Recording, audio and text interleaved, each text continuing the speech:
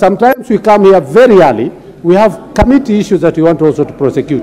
But you find in the next motion again, the same people who have just spoken and the same people again will be given an opportunity to speak. Honorable Speaker, we, we have issues that we would also want to prosecute as members of parliament.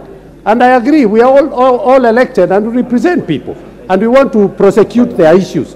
Honorable Speaker, it is Okay, important Honorable for us Gikaria. that in future allow us also to be given, if you have given Gikaria, next time, because when we come back here again, it will be again Bandi, it will be I don't know who, the same people who have spoken in each and every motion. Honorable Speaker, The- we the are also members of parliament. the and we have been elected to come the and represent the Honorable our people. Gikaria, take your seat. It's not right for us to continue this way. And this government of Kenya Kwanza, we have decided Honorable Gikaria, take that your we seat. can be Take your seat, Honorable Gikaria.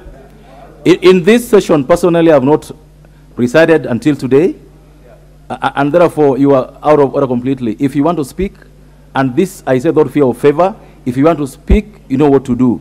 You, you will come to the house on time, you will queue as usual, and you know it. Honorable Gikaria, out of order. You know it.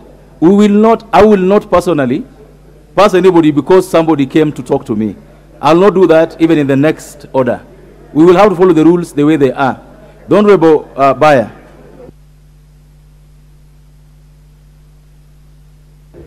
Yes, Honorable Speaker, I, I would like to uh, employ among uh, us as members. We have the finance bill that starts in the afternoon. We have finance bill that starts in the afternoon, but we have two very important bills that have two have timelines: the county allocation bills and the appropriation bills. This we have to manage within between now and one o'clock.